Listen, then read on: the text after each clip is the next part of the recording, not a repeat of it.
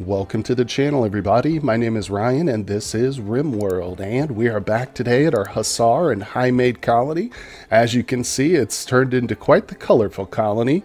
Just up here to the north, we've we've been establishing a bridge over the massive river here on the map, and this location is pretty much dedicated to our guests. So I've got a whole bunch of the hospitality mods installed, including the casino mod. We've also got, oh, the sauna mod or whatever it is. Yeah, so you can set up saunas and stuff like that. We also have vending machines. So it's been a lot of fun playing around with this hospitality, and we're not even done yet. I've still got a, another platform. I'd like to construct this, and I think we decided we're going to do like a restaurant over here. So we're going to set up a cash register and we're going to have nice amounts of food and somebody working over here staffed and ready to go. But um, right now we do have a small group of guests here. Yeah, just a few folks. But uh, man, as time goes by, I'd love to see some more people show up and hopefully some rich people too, because we've got, oh, that's right, we've got a casino going over here, a very small one for now. I will expand out some of these uh, slot machines and stuff, but you know what's cool is it actually shows like the lifetime earnings and stuff like that. Obviously, these were all just constructed very recently, and I literally think this is the first guest visit we've had. So I don't, I haven't noticed anybody in here playing these, but I'm going to be keep a close eye on that that is kind of the main theme of our colony. At least that was my intention starting off was to try and get as much hospitality going as possible. And luckily, we're just starting to get to that point, man. It's taken a while, but the bridge itself is a it's a cool bridge because obviously you can build it over deep water and you can construct walls and buildings on it and stuff as you can see, but it's very resource intensive. It kind of balances it out, you know. It takes steel in addition to stone. So each one of these little squares is pretty expensive here. I'll just show you too. Let's go into it because I got a little bit of stone, so I don't mind placing some of this. So I'm going to grab the sandstone bridge because I do have some sandstone. And let's start over here on this section. Oh, that needs to be the deep water there. So let's go for the sandstone deep water bridge. Oh, wow, look at that. Yeah, you can see just how expensive it is. This little area, All right, so we'll fill that in with the deep water, and then it's wanting this part for the rest of the bridge there. Now, what is up with this little section? This spot right here, well, I can't fill that in with either of those. What's up with that? Sandstone bridge requires terrain that supports bridgeable. What is this terrain right here? Um, not sure what's going on with that, but we will have to deal with it. I can still probably build a wall over it, but um, anyway, so that that's what's going on with the hospitality, and the colony is doing pretty good. Just got a shaman merchant show up, so I'm happy about that. Our thrumbos are still alive and active and eating me out of all my food, man. I tell you what, the thrumbo army has been really great. They've saved this colony multiple times but they do eat quite a bit of food. As you can see, oh my God, my freezer is almost bare bones again. I've got a bunch of meat and that's it. So I think we, we just came back from a little trip onto the world map where I had established a, another colony right here and then I abandoned it. What we did was we just collected all the steel, opened up the ancient danger that, that was there and brought back all the goodies and stuff. So I want to really get to try and fill this out with hydroponics base. So I'm to put this, and you can see the stinking thrumbos are in here just eating all the produce and stuff. I wish they'd go out to the map and eat outside the walls. I do have them totally unrestricted, but I guess they just have a taste for rice, huh? Oh, okay, check it out. We just had a slaver arrive, but this isn't actually a caravan we can trade with. No, no, no. This is for a contract that we've got fulfilled. I believe they're here to pick up the three tox grenades. So let's grab one of our kids here. Arthas, check out the contracts for me there, buddy. Um, we've got, I hope it's still here. I don't know. Maybe it cleared it off. I'm not sure, but we're about to get like 32,000 silver for these tox grenades. Um, I don't see it, but no worries. Of course, as soon as if they make it off the map safely, if that caravan picks up their goods and they get out of here safely, then we're going to get a little pop-up notification asking where we want to deposit that money. And of course, I will show you guys right away as soon as we get the, the big bucks.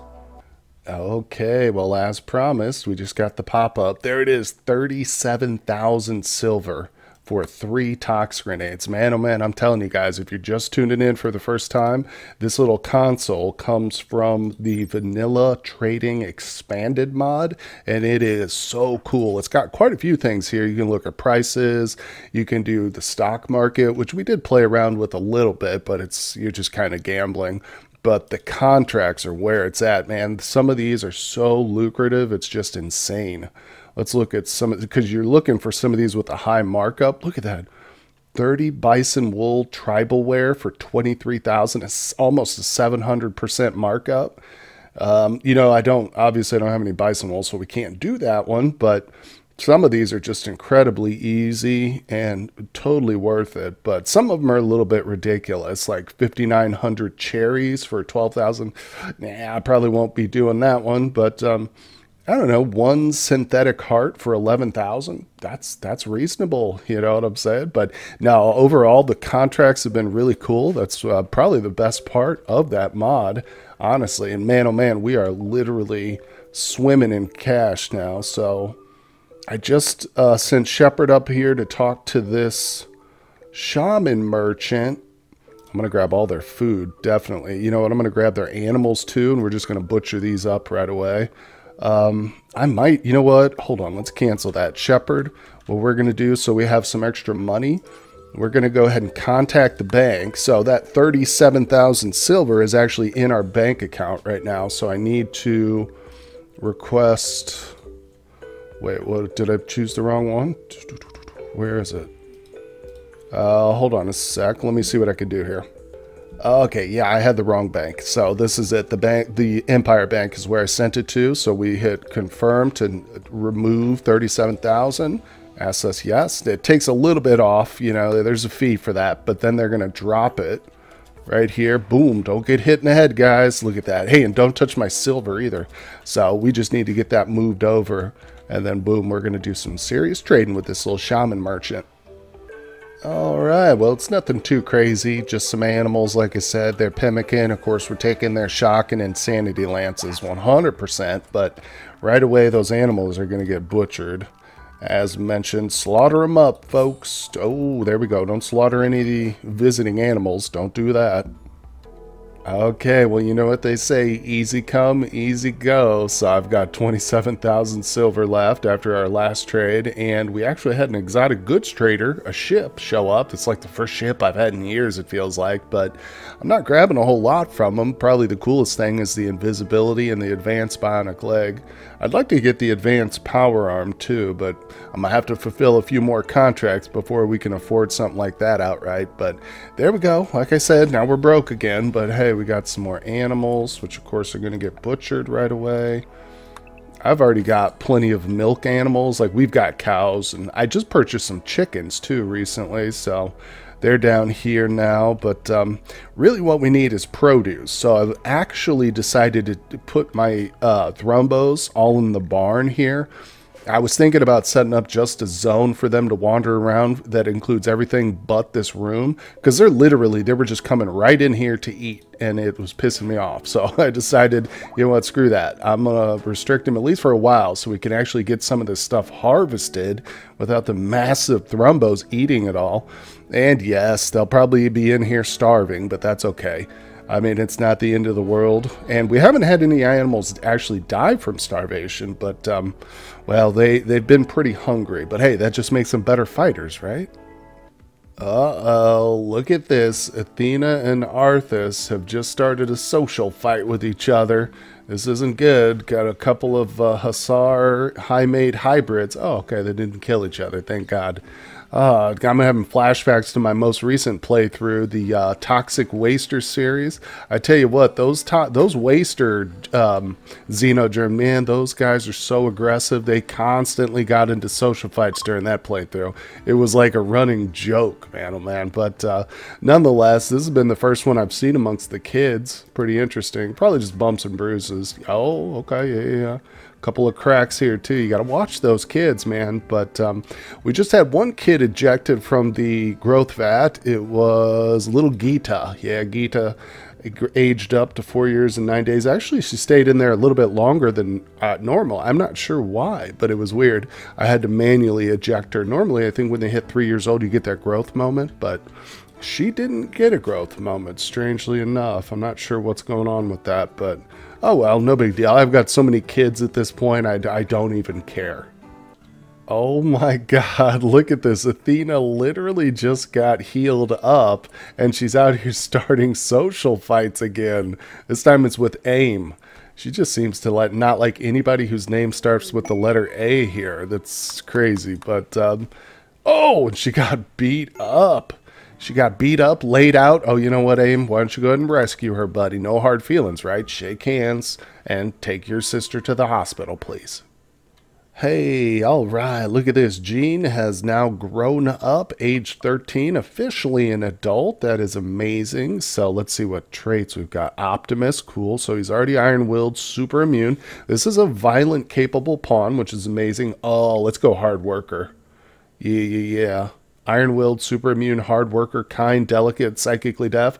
Very nice looking pawn here. The delicate thing isn't the greatest, obviously, but I mean, most of our hybrids and all our high mates are delicate, but it's really not been that big of a deal. Like we've got pawns, like Lady here, she's delicate, obviously, but um, hasn't I haven't noticed it like really knocking out our pawns too much, so I'm okay with that.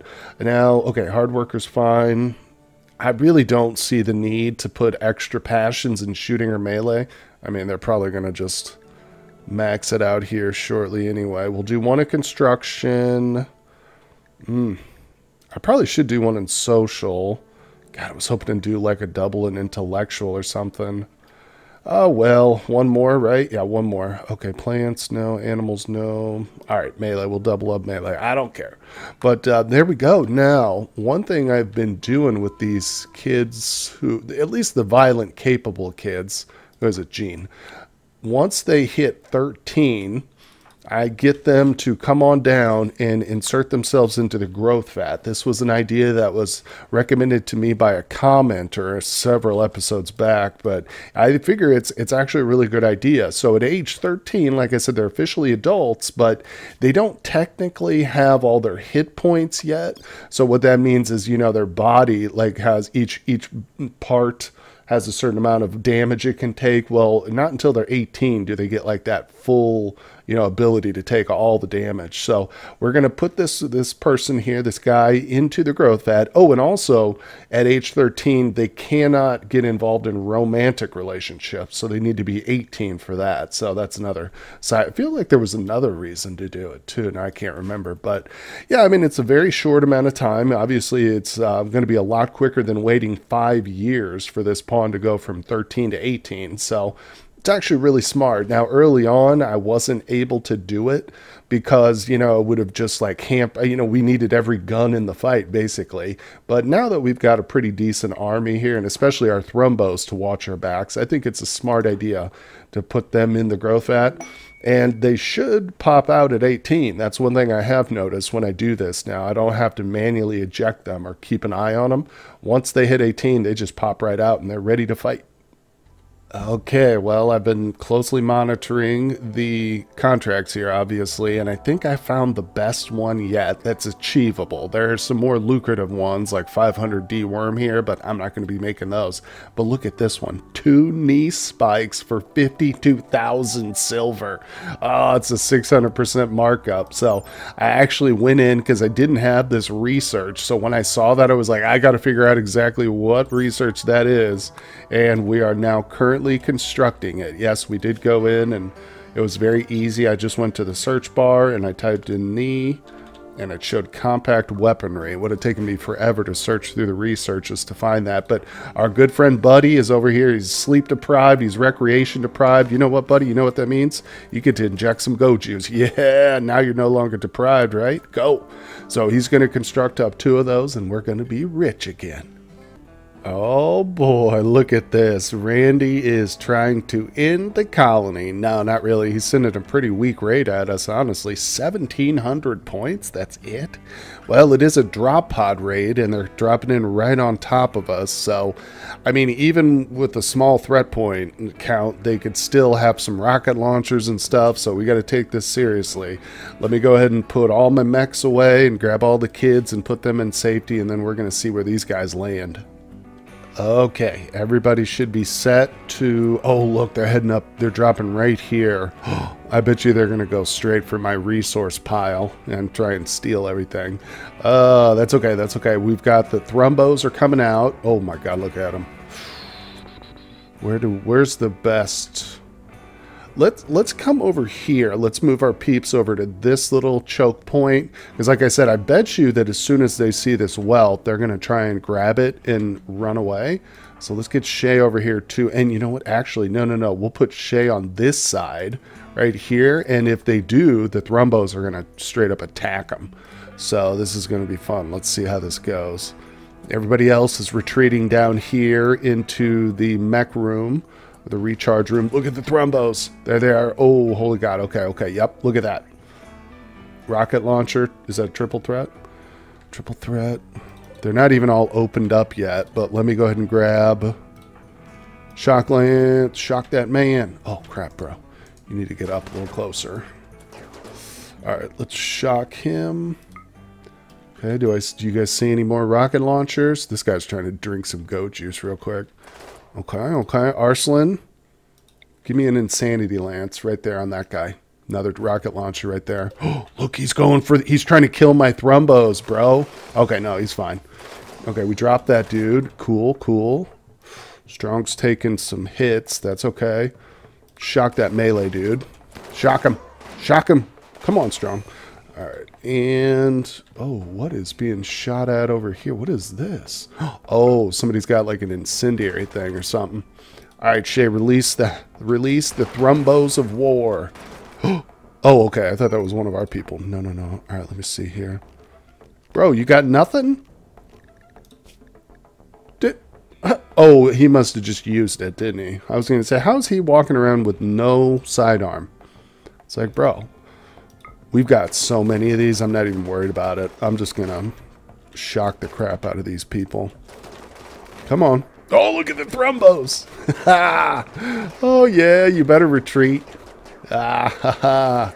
Let's fall back a little bit so our people don't have to take... Oh, what was that? Oh, that was an explosive belt. I thought he destroyed one of the rocket launchers or something.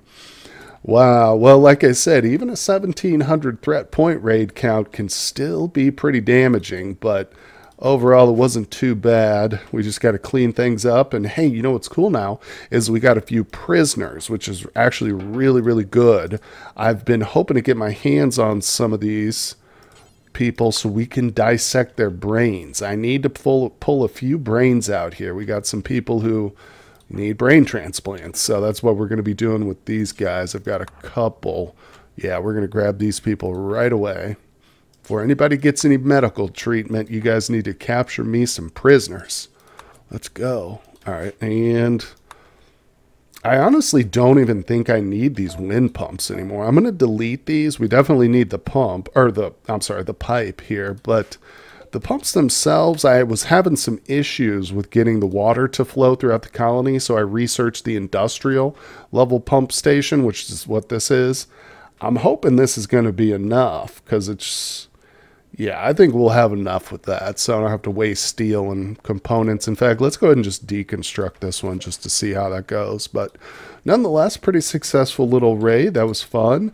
Man, oh man, I wish that would happen more often, but you know how it is. You start to get late stages. It does take a while, but hey, at least we had a little bit of action today, right? Okay, well, this is probably going to be a failure because Shay has got some, uh, some, ah, yep, no, no, no, she didn't fail. Oh, okay, yeah, yeah. She removed the brain perfectly, and the body, of course, can't survive without the brain. But that's exactly what we wanted. Very, very good. So we got another one set to be to be debrained here. What are you doing? Oh, he's moving bad. So I thought he was coming to eat the brain or something. But we've got two dirt moles here who are still injured. So I don't know what we're going to do with them. I might just release them. But I needed the brains. We did. I've been trying to role play as like a good, col- an honorable colony where we don't harvest our prisoners and stuff. And so far, we've been doing pretty well with that. But there's just uh, I've got two people who need brains. One of them's in this crypto sleep casket here. It's uh, Leslie. She's got resurrector uh, resurrection psychosis. So I'm trying to do try and do a full brain transplant with her. In fact, let's pop her out. Yeah, open that up. Let's get her out because I want to uninstall that neurocalculator I've got, and then we're going to do the brain transplant on her. And as I recall, there was somebody else who had like a, a brain scar who's going to need one to. Okay, here it is. It's uh, Morgan. Morgan's got a brain scar, so we got to get that brain replaced on her. But uh, yeah, I mean, like I said, that's going to be it. I'm not going to be doing any more. Whoa, get back here, Leslie. I don't want you running around the colony. Listen to me. This this little girl, she's got that resurrection psychosis because she died, obviously, and I used the resurrector mech serum on her, and she went into like with this psychosis. She went into I don't know two or three murderous rages, so it was pretty annoying. And at that point, I, I just decided to lock her into that. Um, casket there. So let's see. What I'm going to do is remove the neurocalculator. I hope that doesn't ruin it. We'll see. I don't know. I haven't ever, I don't think I've ever removed a brain implant, but we'll see how that goes. And then I'm going to install the brain. Let's let's hold off on that. But you go right to bed. Okay. Oh, actually, let's put her in one of these hospital beds. I'm still trying to get all these switched out. In fact, I think we probably got enough steel and components at this point to do that real quick. So we'll we'll work on that here. Poor little Leslie. I hope this works out for you, Leslie.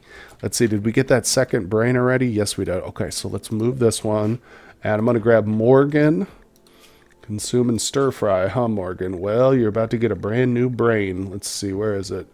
Install brain. There we go. Okay, and I want to make sure she's set to the best quality medicine. Very good, very good. Yeah, it's amazing. Look at this. We've actually got some meals in here now. Can you believe it?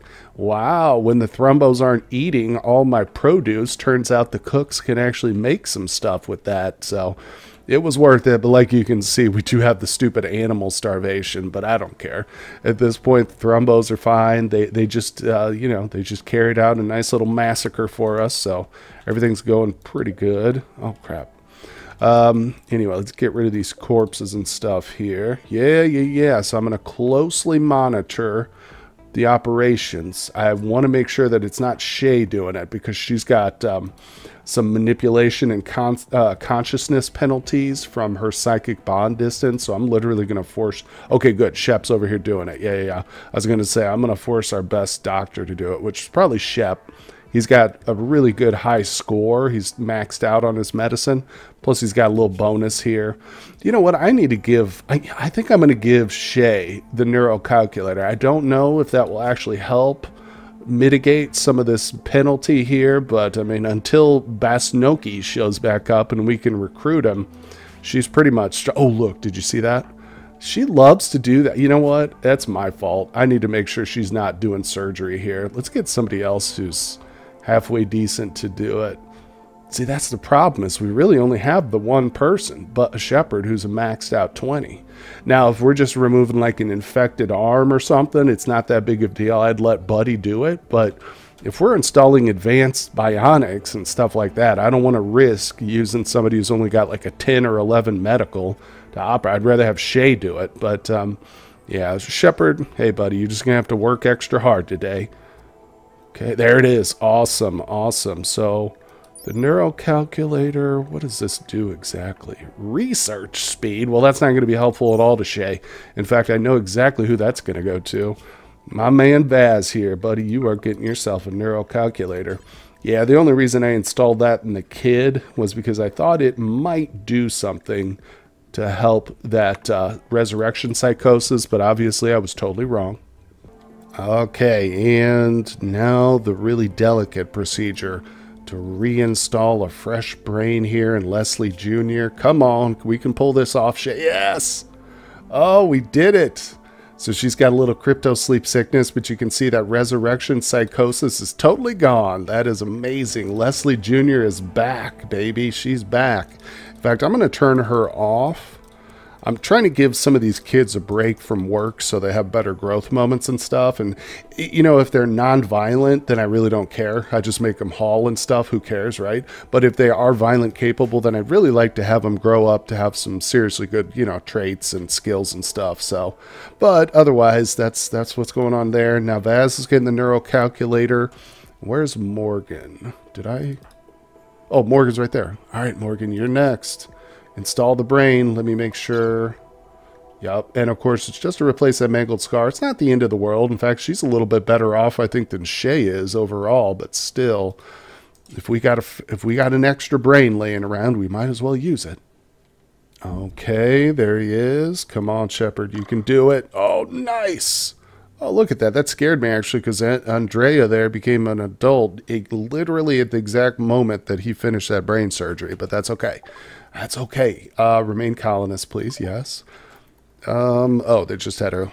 Oh, look at that. See, I don't know why they're not popping them out. Maybe I'm crazy. Maybe it hasn't been like that the whole time. I'm just misremembering. But yeah, when they turn three, we can pop them on out of there, and now they can run around the colony and help us out a little bit. But like I say, some of these kids, I don't know, Andre, are you violent capable? No, I don't think. Yeah, she he's not. So this little guy's going to be put to work. Get out there and start hauling and stuff. Especially while all our thrumbos are locked in the barn right now. We do need the extra help. But oh, you know what? Crap, that reminds me.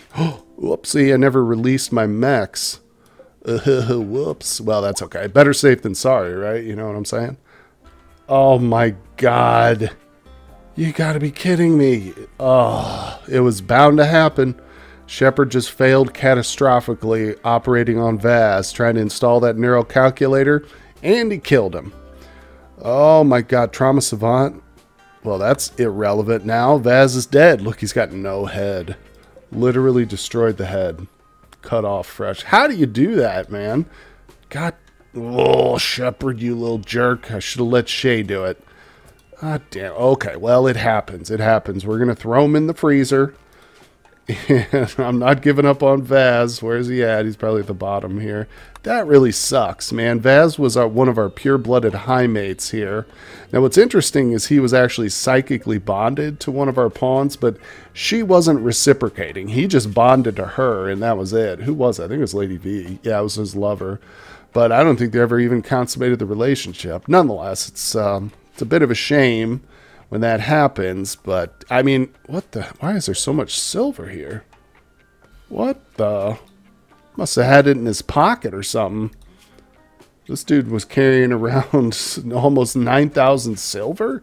Jesus. Well, anyway, guys, wow, that was kind of that was a rough one, but nonetheless, we did end up with a couple extra prisoners here. Now they're dirt, both dirt moles, so we're not going to recruit them. I think we'll just let them hang around in the prison until we get our royal slave traders show up, and we'll trade them away for some honor and stuff.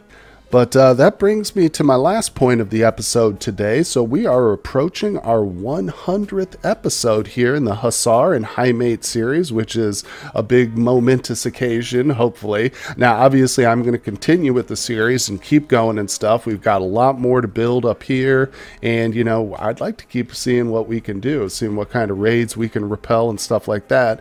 But the unfortunate truth is, when you get this far into a series, it takes me about two hours to record record one episode of a 30 minute episode. So, what I might end up doing is going to an every other day upload schedule for my RimWorld series.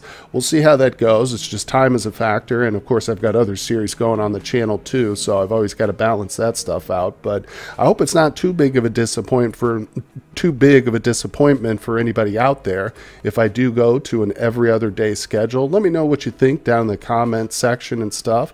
And of course, if you're just watching watching this after the fact, you know, after I've uploaded it, you know, a year, months later, whatever, it won't be an issue for you at all. But uh, nonetheless, guys, I really appreciate you stopping by for today's episode. Hit that like button for me, subscribe to the channel, and everybody say a little prayer for Vaz. oh, poor headless Vaz. There he goes. All right, guys, I will see you on the next one.